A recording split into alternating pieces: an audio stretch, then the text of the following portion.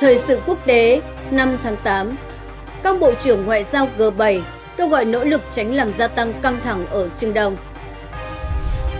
Quan chức Đức kêu gọi tăng cường kiểm soát biên giới với Hungary vì quyết định của Thủ tướng Orbán. Nhà lãnh đạo Triều Tiên giám sát việc chuyển giao bệ phóng hỏa tiễn đạn đạo chiến thuật mới. Công dân Trung Quốc liên tiếp đột nhập dinh thự. Ông trân nói có bằng chứng Đảng Cộng sản Trung Quốc can thiệp vào vụ ám sát ông. Lực lượng bảo vệ bờ biển Trung Quốc theo dõi tuần tra của Philippines ở bãi cạn Sabina. Báo cáo nửa đầu năm nay, 69 học viên Pháp Luân Công bị bức hại đến mất mạng. Các đế chế viễn thông của con trai cả cựu lãnh đạo Trung Quốc liên tục bị thanh trừng. Các lãnh đạo cấp cao lần lượt bị điều tra. Kim Chi xin kính chào quý khán thính giả. Quý vị đang theo dõi mục thời sự quốc tế thứ hai ngày 5 tháng 8 của Đại Kỷ Nguyên. Sau đây là phần nội dung bản tin.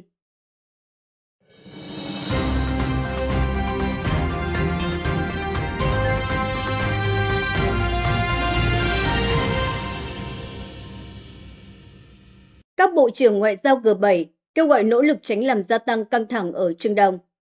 Bộ trưởng Ngoại giao của nhóm 7 nền dân chủ lớn G7 đã kêu gọi tất cả các bên liên quan đến cuộc xung đột hiện nay ở Trung Đông tránh các hành động có thể dẫn đến leo thang, Bộ trưởng Ngoại giao Ý cho biết hôm 4 tháng 8 giờ địa phương.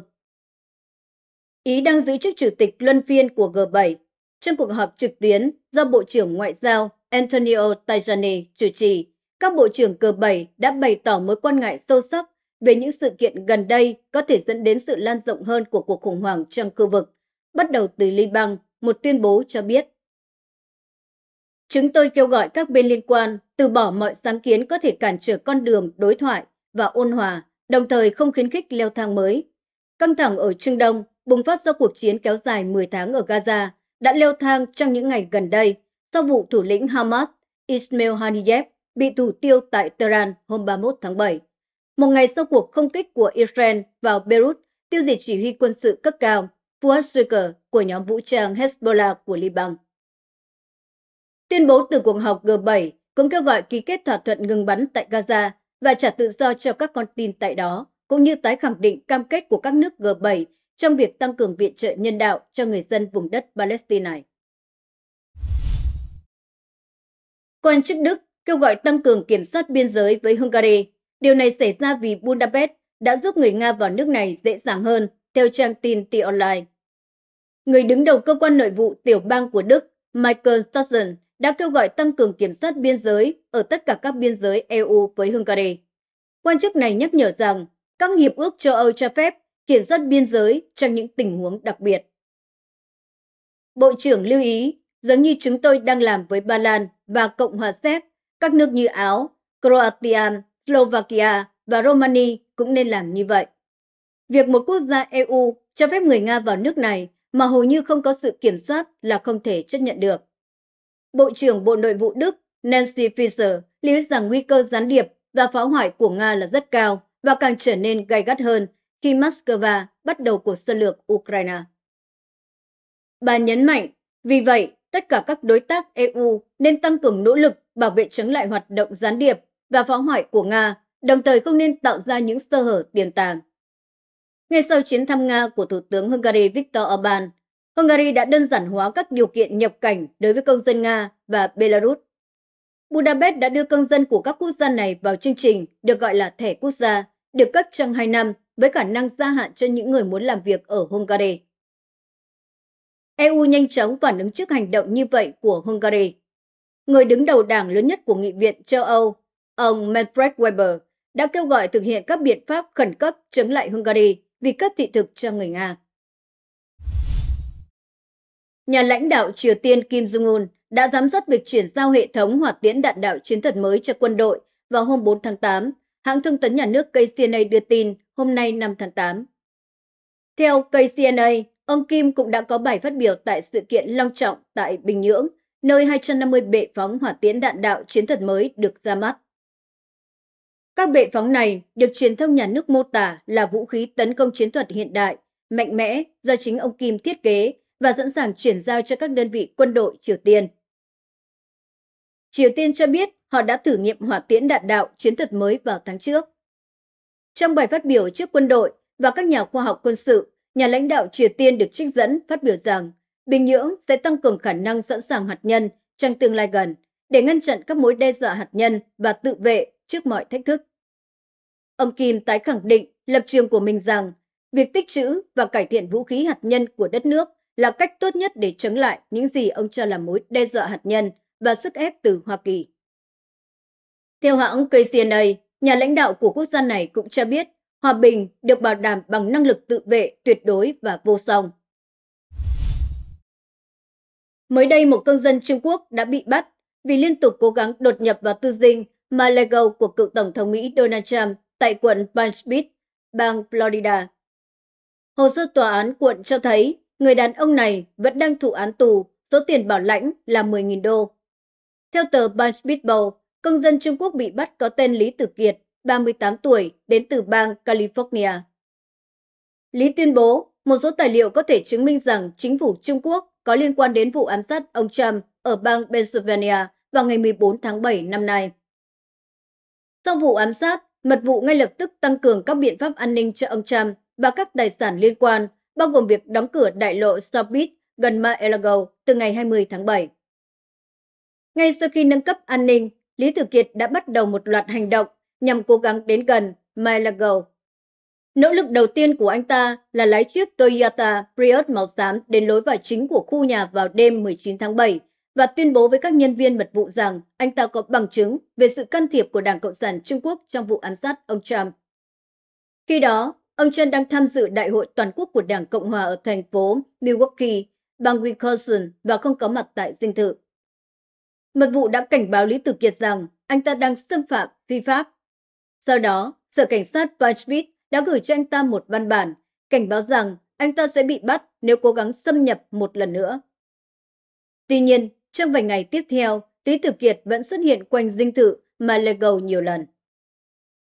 Ngày 22 tháng 7, sau khi ông Trump trở về từ bang Wisconsin, Lý vẫn cố gắng đến gần trang viên. Lần này, anh ta cũng bị cảnh sát cùng nhân viên mật vụ chặn lại và cảnh cáo.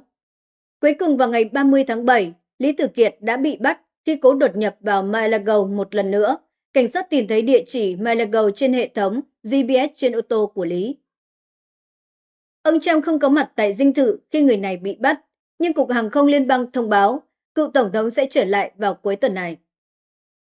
Khi đó, khu vực này sẽ hạn chế các chuyến bay ngang qua từ 7 giờ 45 phút tối ngày 5 tháng 8 đến 22 giờ 45 phút ngày 9 tháng 8. Đây không phải là lần đầu tiên công dân Trung Quốc cố gắng xâm nhập trái phép vào Malago.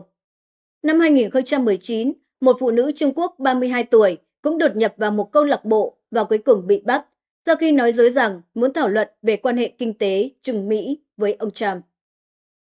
Tại tòa, Lý Tử Kiệt sử dụng thông dịch viên tiếng quan thoại. Thẩm phán ra lệnh cấm Lý tiếp sức với ông Trump cùng các thành viên trong chiến dịch tranh cử của ông Trump và Malago. Phiên tòa tiếp theo xét xử Lý Tử Kiệt dự kiến sẽ diễn ra vào ngày hôm nay, 5 tháng 8. Lực lượng bảo vệ bờ biển Trung Quốc cho biết họ đang theo dõi các tàu tuần tra và tàu cá của Philippines tập trung quanh bãi cạn Sabina đang tranh chấp với lý do chủ quyền không thể tranh cãi của Bắc Kinh đối với quần đảo Trường Sa ở Biển Đông. Người phát ngôn Trung Quốc cho biết trong một tuyên bố hôm 4 tháng 8 rằng lực lượng bảo vệ bờ biển Trung Quốc đã theo dõi các tàu này kể từ ngày 3 tháng 8. Phát ngôn viên này cho biết các tàu tuần tra của Cục Thủy sản và Nguồn lợi Thủy sản Philippines cùng nhiều tàu đánh cá đã tập trung tại vùng biển gần một con tàu của Philippines mà Bắc Kinh cho là bị mắc cạn bất hợp pháp tại bãi cạn. Lực lượng bảo vệ bờ biển Trung Quốc khẳng định con tàu mắc cạn này vi phạm chủ quyền lãnh thổ, quyền và lợi ích hàng hải của Trung Quốc, đồng thời làm suy yếu hòa bình và ổn định ở Biển Đông. Bắc Kinh gọi bãi cạn Sabina là bãi ngầm tiên tân, trong khi Philippines gọi là bãi cạn Escoda. Mới đây, Minhui.org, một cổng thông tin của người học pháp luân công ở hải ngoại, đã đăng tải báo cáo cho biết nửa đầu năm 2024, Trang Minh Huệ đã xác thực được thông tin về 69 người tập Pháp Luân Công qua đời do bị bức hại vì đức tin.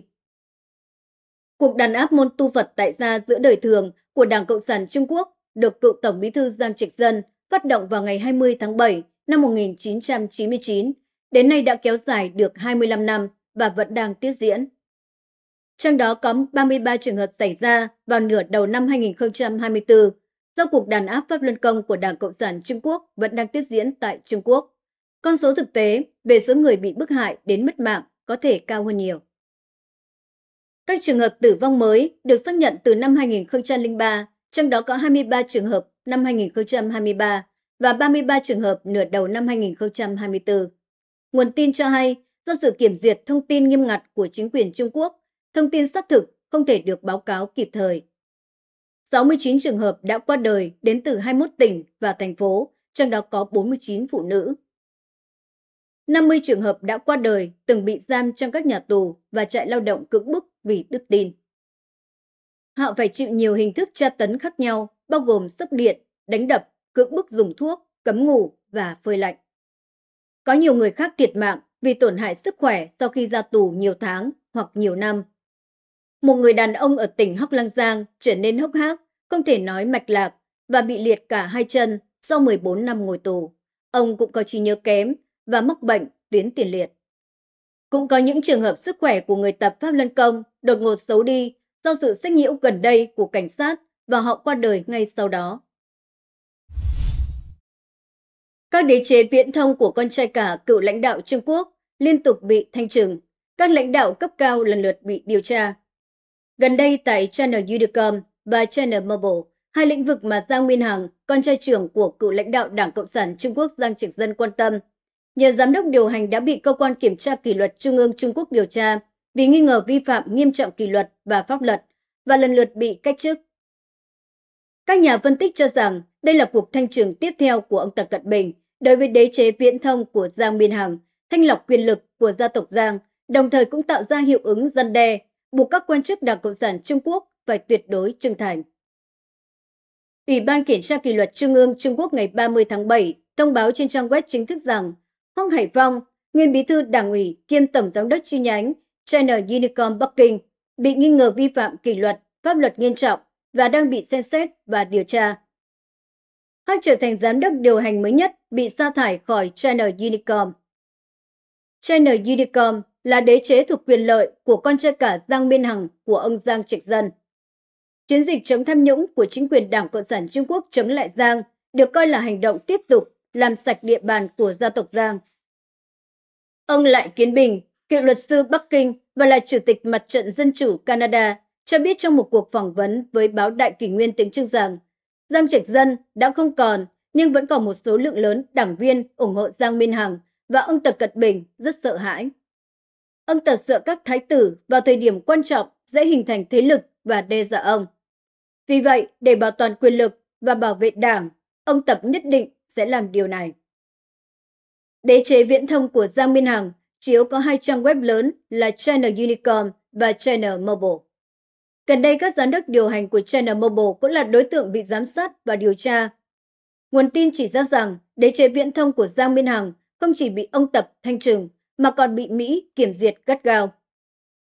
Trước đó vào năm 2022, Ủy ban truyền thông liên bang của Mỹ đã thu hồi giấy phép của China Unicom, Pacific Network và Conchnet để cung cấp dịch vụ viễn thông tại Hoa Kỳ vì lý do an ninh quốc gia. China Telecom và China Mobile cũng lần lượt bị Hoa Kỳ cấm cung cấp dịch vụ vào năm 2021 và 2019. Cho đến nay, các công ty viễn thông lớn của Trung Quốc đều bị đưa vào danh sách đen vì gây ra mối đe dọa an ninh quốc gia đối với Hoa Kỳ. Thưa quý vị, một thời sự quốc tế của Đại Kỷ Nguyên đến đây tạm dừng. Quý vị đừng quên bấm vào nút đăng ký kênh và nút chuông để nhận được thông báo về những bản tin mới nhất của chúng tôi. Cảm ơn quý vị đã quan tâm theo dõi chương trình. Hẹn gặp lại quý vị trong các bản tin tiếp theo.